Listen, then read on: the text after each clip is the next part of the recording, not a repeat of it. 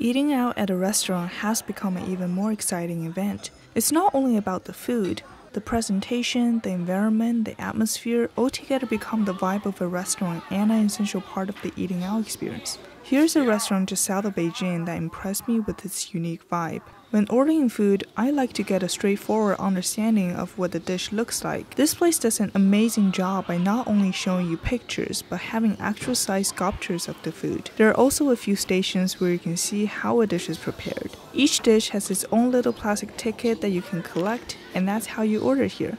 The restaurant serves jiachangcai or home-cooked food, which is basically the foundation of all subdivisions of Chinese cuisine.